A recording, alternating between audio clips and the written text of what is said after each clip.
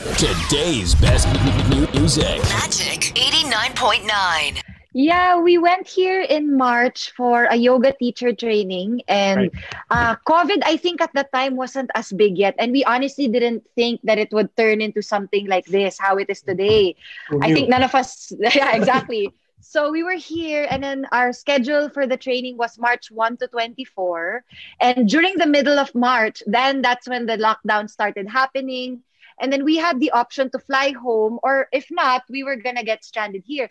And we figured because coming here to the teacher training, one of my intentions, one of my goals was to actually heal my myself, my my, my mental condition, and Correct. um, one of the things that I I um, struggle with is fear and anxiety. And my intention was to not give in to fear, to just trust the process and to surrender.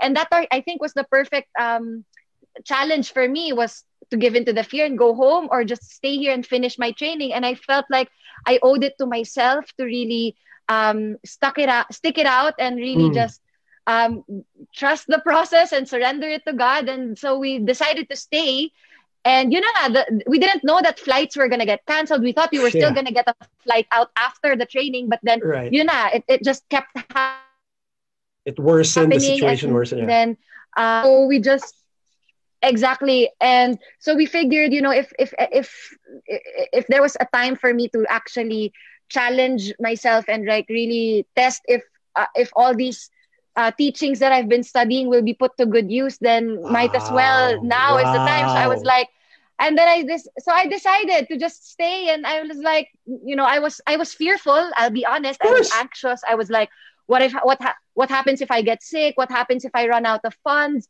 So I was like, no, I'm gonna stick to this and really uh, invest my time, my energy, my money into this healing process. And so far, so good. It's been turning out really well. And yun, we've been extending our visa. So even if my flights na, nagkaroon na ng flights, I, my husband and I decided to stay and really um, give our all into this healing journey of, of ours. So Wow. we're treating it we're treating it like our healing honeymoon because we Right. got married two years ago, three year, magsi three years na kaming married.